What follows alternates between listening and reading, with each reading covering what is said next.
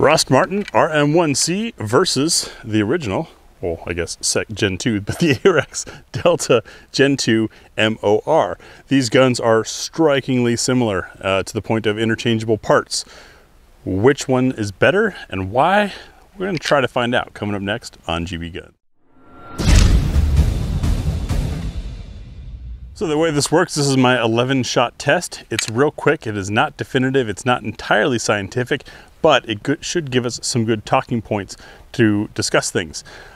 Seven yards back from a IPSC target, I've got a bullseye on the head at which I will throw five rounds for a quick group, erring on the side of speed, but still trying to group, then move down to the torso for a six shot dump. Doing this under time, looking roughly at splits. You guys are gonna be looking at gun control, so it kind of lets us see how it moves in the hand and I will be able to give you a little thoughts and feels. Before we get started, the disclaimers. To be fair, each of these two guns, they're not 100% anal anal analogous? Analogs. I don't know. I'm having an English failure. I'm leaving this in the video. Yes, they're not 100% equals, though the design is the same. Um, you saw in the article, the weights are slightly different. Also, uh, the Delta has a lot more rounds through it because I've taken it to a training course, so it's a little more broken in, whereas this guy is fairly fresh out of the box. Advantage on the RM1C is I just finished filming the shooting impressions video, so my hand and my finger knows this gun better. However, I've got more time with this. Advantage on the Arex also is that the large backstrap comes up here to fill the web to create for me, a more ideal trigger reach, that's not an option on the RM1C, so I'm gonna have to run with a stupidly oversized hands on the gun kind of scenario. And the disadvantage on this is that it's running a red dot and I'm, I'm an iron shooter guy. So slight sight change there, but this is mounted and zeroed and I ran a course with it and it's been there, so I'm not taking it off. And I figured that might help balance this. So as we get to it, I'll start the timer, we'll run through, I think I'll do the Arex first. I'm not sure if that gives it an advantage or not. I did just put five rounds for the Arex just because I hadn't shot it in a few months. So it's kind of in my memory, but it's not to the same point as the RM1C, which I just finished filming a whole video on. And again, though not 100% scientific, this the idea of this is uh, to get some conversation points going from your observations and mine while doing some type of standard drill that I've done on other things. I'm all about protocols. Here we go, starting from a high ready.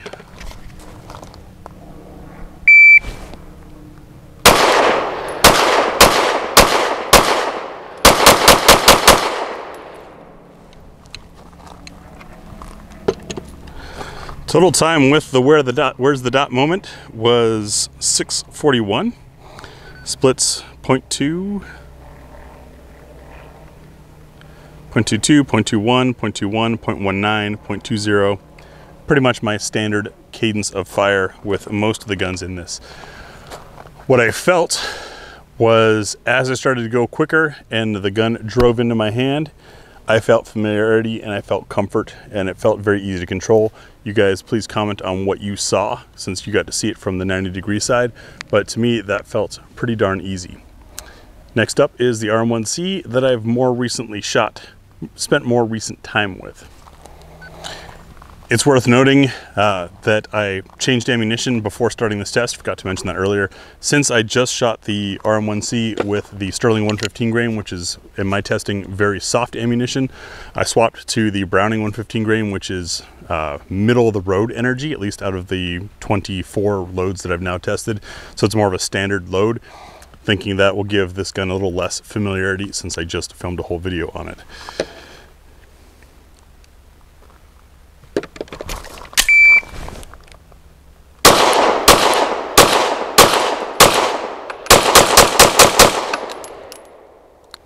I felt a difference.